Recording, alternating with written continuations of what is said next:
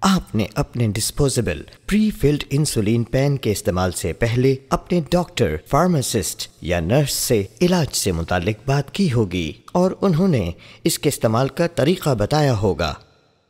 آپ کو اپنے پین کے استعمال کے بارے میں مزید معلومات کے لیے انسولین پین کے ڈبے میں موجود لیفلیٹ میں درج ہدایات کو بھی پڑھ لینا چاہیے۔ آپ چاہیں تو اس ویڈیو کو پورا دیکھ سکتے ہیں یا اپنی ضرورت کے مطابق کچھ مخصوص مضامین کا انتخاب بھی کر سکتے ہیں۔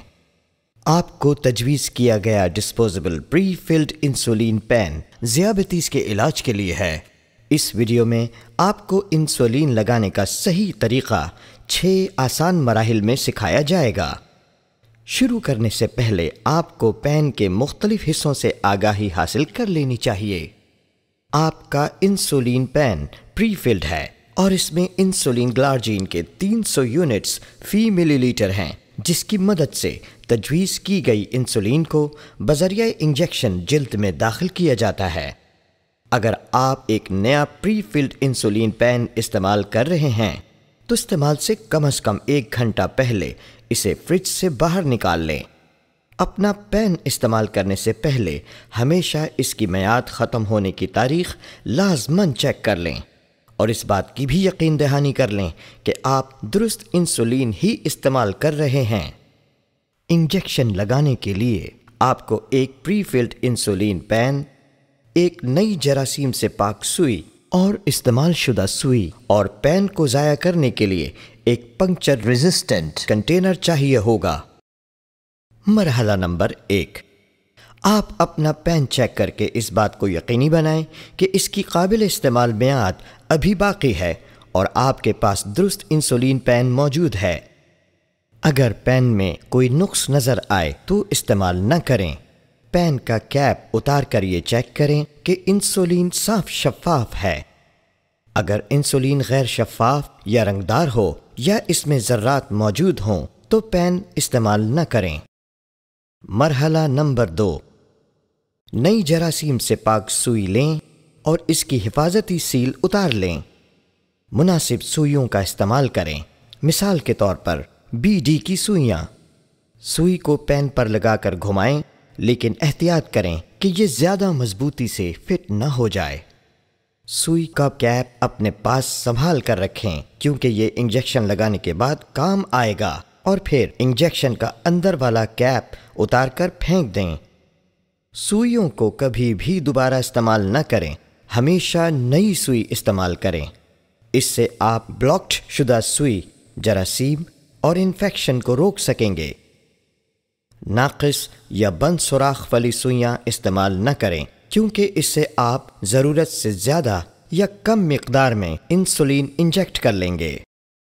مرحلہ نمبر تین۔ ہر انجیکشن سے پہلے ہمیشہ حفاظتی ٹیسٹ کریں۔ تاکہ اس بات کو یقینی بنایا جا سکے کہ آپ کا پین اور سوئی ٹھیک کام کر رہے ہیں۔ ڈوز سیلیکٹر کو گھما کے انسولین کے تین یونٹس منتخب کریں۔ یہاں تک کہ پوائنٹر دو اور چار کے درمیان آ جائے۔ انجیکشن کا بٹن اندر کی جانب مسلسل دبائے رکھیں تاکہ سوئی کی نوک سے انسولین باہر آتی ہوئی نظر آئے۔ اگر انسولین باہر نہ آئے تو حفاظتی ٹیسٹ تین مرتبہ دہرائیں۔ اگر تیسری مرتبہ کے بعد بھی انسولین باہر نہ آئے تو ممکن ہے سوئی کا سوراخ بند ہو۔ ایسی صورت میں سوئی تبدیل کریں اور دوبارہ ٹیسٹ کریں۔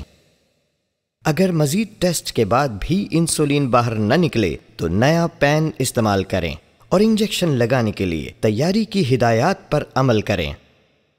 اپنے پین سے انسولین باہر نکالنے کے لیے کبھی بھی سرنج کا استعمال نہ کریں۔ اگر آپ کو پین میں بلبلے نظر آئیں تو فکر کی بات نہیں، یہ نقصان دہ نہیں ہوتے۔ مرحلہ نمبر چار، حفاظتی ٹیسٹ کے بعد چیک کر لیں کہ ڈوز سیلیکٹر صفر پر موجود ہو۔ آپ اپنے پری فلڈ انسولین پین سے ایک وقت میں انسولین کے ایک سے اسی کے درمیان یونٹس ڈائل کر سکتے ہیں۔ ہر پین میں استعمال سے قبل انسولین کے چار سو پچاس یونٹس موجود ہوتے ہیں۔ پین کے ساتھ سوئی منسلک رہنے دیں اور ڈوز سیلیکٹر کو اس وقت تک گھمائیں جب تک کہ پوائنٹر آپ کی مطلوبہ مقدار تک نہ پہنچ جائے۔ کبھی بھی پین میں سوئی لگائے بغیر دوا کی مقدار منتخب نہ کریں اور نہ ہی انجیکشن کے بٹن کو دبائیں۔ ایسا کرنے سے آپ کا پین خراب ہو سکتا ہے۔ جفت آداد ڈوز سیلیکٹر کے پوائنٹر کی لائن کے ساتھ ظاہر کیے گئے ہیں اور طاق آداد جفت آداد کے درمیان موجود لائن پر ظاہر کیے گئے ہیں۔ اگر پوائنٹر مطلوبہ مقدار سے تجاوز کر جائے تو آپ انسولین ضائع کیے بغیر اسے دوبارہ واپس گھما سکتے ہیں۔ اگر آپ کی مطلوبہ انسولین کی مقدار پین میں بچے ہوئے یونٹس سے زیادہ ہے تو ڈوز سیلیکٹر پین میں رہ جانے والے یونٹس کی تعداد پر رک جائے گا۔ اگر آپ اپنی تجویز کردہ خوراک مکمل طور پر منتخب نہیں کر سکتے ہیں، تو مطلوبہ مقدار خوراک کو دو انجیکشنز میں تقسیم کر دیں یا نیا پین استعمال کر لیں۔ مرحلہ نمبر پانچ، اپنی دوا انجیکٹ کریں۔ انسولین آپ کے میدے، اوپری بازو یا ران میں لگائی جا سکتی ہے۔ انسولین لگانے کے مقام کو روزانہ تبدیل کریں۔ انسولین لگانے کے لیے پین پر لگی ہوئی سوئی کو اپنی جلد میں داخل کریں اور اپنا انگوٹھا پین کے بٹن پر رکھیں۔ پین کا بٹن اندر کی جانب مسلسل دباتے چلے جائیں اور اس پر سے انگوٹھا نہ ہٹائیں۔ جب آپ ڈوز سیلیکٹر کی ونڈو میں زیرو دیکھیں تو آہستہ آہستہ ایک سے پانچ تک گنیں اور پین کے بٹن کو چھوڑ دیں۔ اور سوئی کو جلد سے باہر نکال لیں۔ انجیکشن بٹن کو ایسے زاویے پر نہ دبائیں، جس سے آپ کا انگوٹھا ڈوز سیلیکٹر کو گھما نہ سکے۔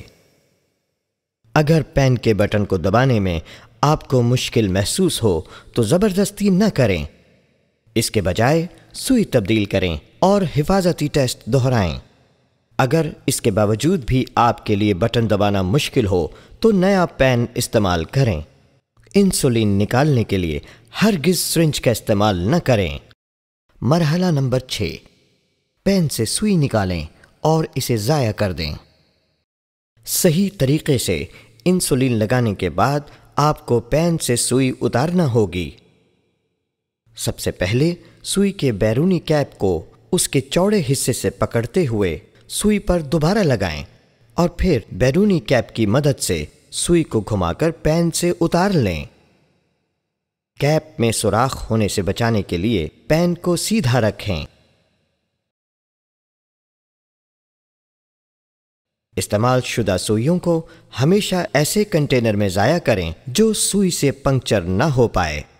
سوئیوں کو دوبارہ ہرگز استعمال نہ کریں کیونکہ ہو سکتا ہے ان کا سوراخ بند ہو گیا ہو یا یہ مڑ چکی ہوں، جس کی وجہ سے آپ انسولین کی درست مقدار حاصل نہیں کر پائیں گے۔ پین کا کیپ لگانے کے بعد اسے تیس ڈگری سینٹی گریڈ سے کم درجہ حرارت پر رکھیں اور براہ راست دھوپ اور روشنی سے بچائیں۔ استعمال شدہ پینس کو دوبارہ فریج میں کبھی نہ رکھیں اور نہ ہی انہیں ایسی حالت میں محفوظ کریں کہ ان پر سوئی لگی ہوئی ہو۔ اپنے پین کو پہلے استعمال کے بعد زیادہ سے زیادہ چھ ہفتوں تک استعمال کیا جا سکتا ہے۔ اپنے پین کو احتیاط سے استعمال کریں اور اگر آپ کے خیال میں اس میں کوئی نقص ہو تو اسے ہرگز استعمال نہ کریں۔ اپنے پین کو گیلے کپڑے سے صاف کریں تاکہ اسے گرد و غبار سے بچایا جا سکے۔ پین کو دھونے گیلا کرنے یا اس پر تیل لگانے سے گریز کریں۔ اپنا پین پھینکنے سے پہلے اس کی سوئی اتار لیں۔